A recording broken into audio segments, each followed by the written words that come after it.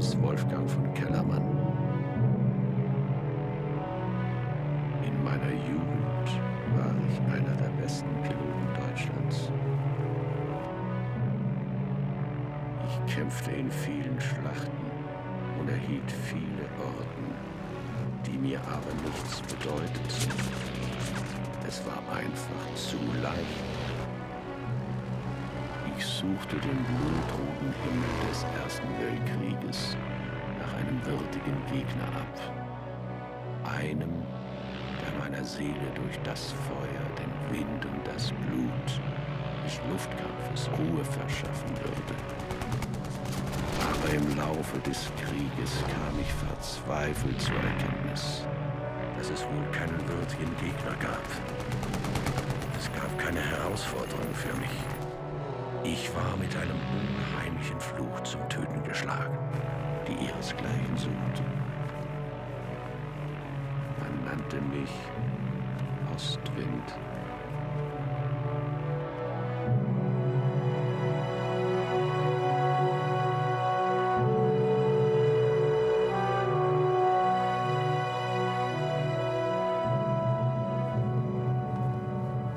Schließlich habe ich mich meinem zwecklosen Schicksal ergeben.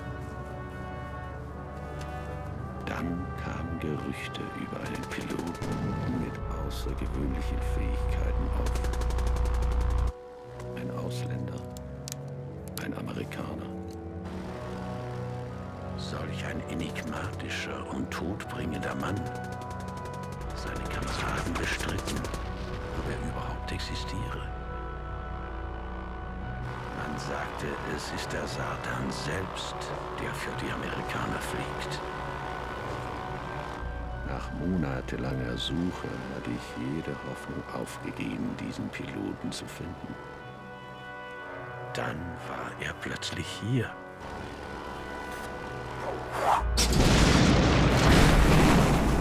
Was ich sah, war überwältigend. Wusste ich, dass es meine einzige Aufgabe war, gegen diesen amerikanischen Piloten zu fliegen. Wenn ich sein Gesicht sehe, werde ich mein wahres Ich erkennen. Davon war ich überzeugt.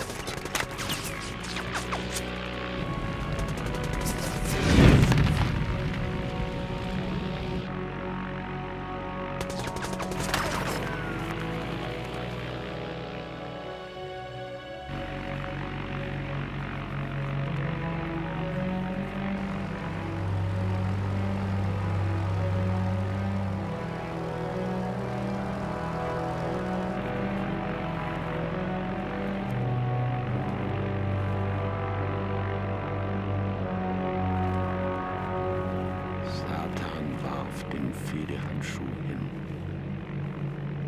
Und ich nahm ihn auf.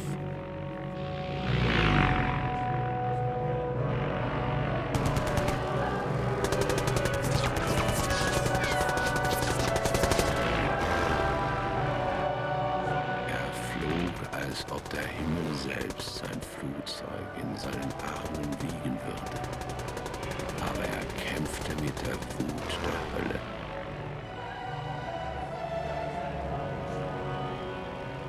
Hatte noch nie heftiger und heroischer gekämpft als an jenem Tag.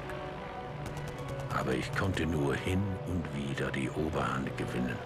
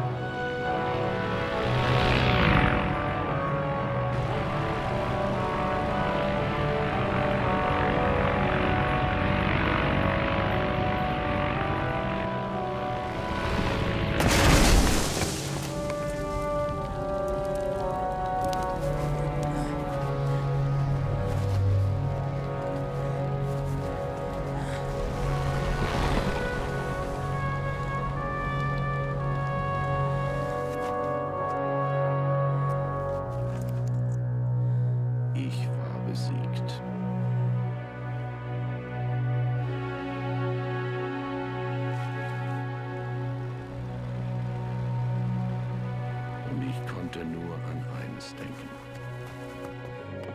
Ich muss ein Gesicht sehen.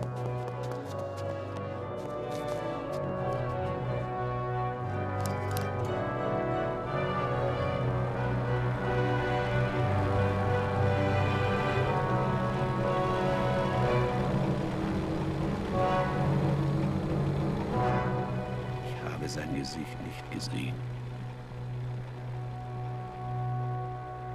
Er salutierte und flog weg.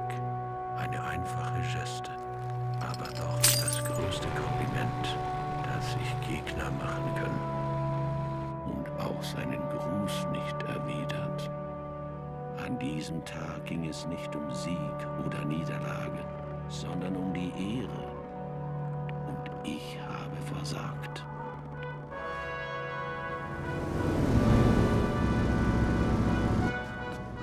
Sein Flugzeug war stark beschädigt und unter dem Beschuss meiner Piloten war er verloren.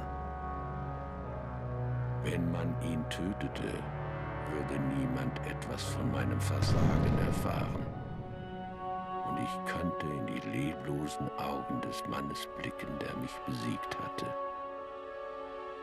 Und ich wäre wieder einmal unbesiegbar.